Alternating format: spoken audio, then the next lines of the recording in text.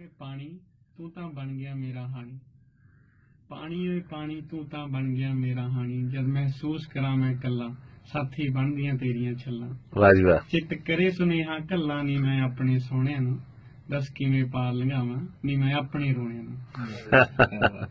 ਕਹਿ ਹਵਾ ਵੇ ਹਵਾ ਨੀ ਤੂੰ ਕਈ ਦਰਦਾਂ ਦੀ ਦਵਾ। ਹਵਾ ਵਾ- ਹਵਾ ਵੇ ਹਵਾ ਨੀ ਤੂੰ ਕਈ ਕਰਦਾਂ ਦੀ ਦਵਾ। ਜਦੋਂ ਤੇਜ਼ ਚੱਲੇ ਤਾਂ ਕੁਝ ਵਹਿ ਜਾਵੇ।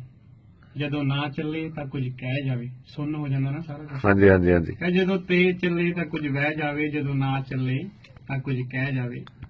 ਜਦੋਂ ਚੱਲੇ ਤੂੰ ਬੱਦਲਾਂ ਦੇ ਫਿਰ ਪਾ ਕੇ ਵਿਛਾਉਣਿਆਂ ਨੂੰ ਦੱਸ ਕਿਵੇਂ ਪਾਰ ਲੰਘਾਵਾਂ ਨਹੀਂ ਮੈਂ ਆਪਣੇ ਰੋਣਿਆਂ ਨੂੰ।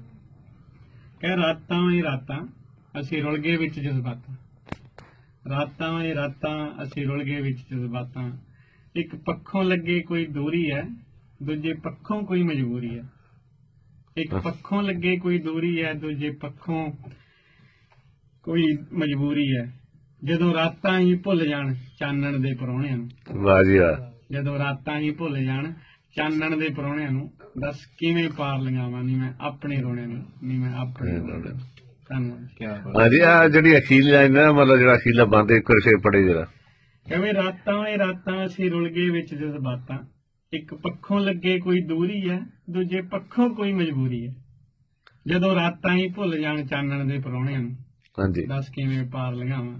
ਨਹੀਂ ਮੈਂ ਆਪਣੇ ਰੋਣਿਆਂ ਨੂੰ ਮੈਂ ਆਪਣੇ ਰੋਣਿਆਂ ਨੂੰ। ਵਾਹ ਜੀ ਵਾਹ ਕੀ ਬਾਤ ਹੈ। ਕੱਲਾ ਕੱਲਾ ਲਫ਼ਜ਼ ਰੋਇਆ ਪਿਆ ਜੀ।